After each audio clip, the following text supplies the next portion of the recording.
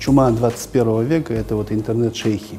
Вначале эти шейхи говорят красиво об исламе, а потом уже начинаются темы, там, подчиняться ли правителю, который не мусульманин, или же там, э, где ты живешь, это вот страна такая, вот э, там разврат и так далее. То есть потихоньку-потихоньку идет момент зомбирования, и мы знаем, что есть э, русскоязычные сайты, которые там именно такфиру призывают, к джихаду, которые говорят, вот там правительство такое-то, оно там кафирское правительство, особенно у молодежи юношеский максимализм, и вот это э, рвение, стремление быть полезным исламу, стремление что-то сделать на пути Аллаха, все это их толкает на эти ошибочные действия. И мы постоянно говорим и молодежи, и женщинам, которые приехали оттуда, ни в коем случае не заходить в эти э, сайты, слушать кого-то из-за океана, там, из-за морских этих шейхов, которые сидят красиво одеты, с красивой бородой, которые проповедуют, красиво все говорят, которые имеют, умеют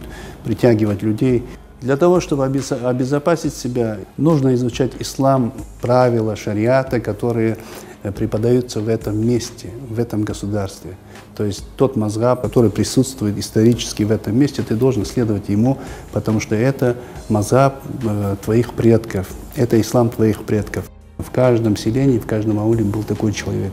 И он как раз проповедовал тот ислам, который приносит мир, который приносит пользу людям. Таких людей не было никогда вреда, не было там войн, не было вот этого то, что сейчас, допустим, мы видим. Вот эта вот идеология такфира, идеология джихада, этого вообще не было среди нашего народа. У нас все время ислам был мирный, и ислам помогал развиваться людям, то есть помогал брать знания, помогал вот именно очищаться духовно, и вот это все Э, то, что мы видели среди нашего народа.